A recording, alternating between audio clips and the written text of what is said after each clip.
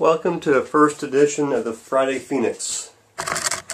Every Friday, I will be selecting a Phoenix of the week.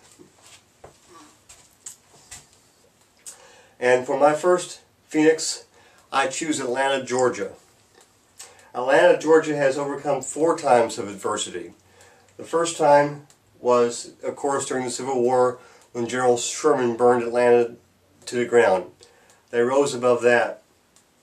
The second time was in 1962 when 160, 106 arts patrons were killed in a crash at Orly, France.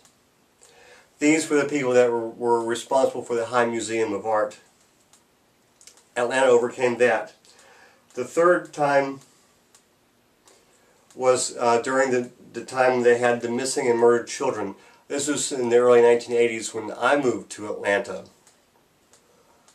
And the fourth time was the, the Olympic bombing in 1996. Each time Atlanta faced adversity, each time Atlanta overcame adversity. And there are three lessons that I want us to take from this.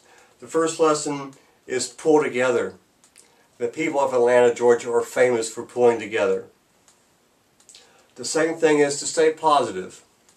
Even though uh, in adversity, there's always a silver lining.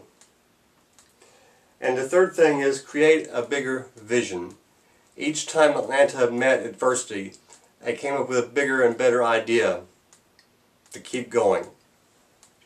So this has been the first edition of Phoenix Fridays, and there'll be more to come. Thank you very much.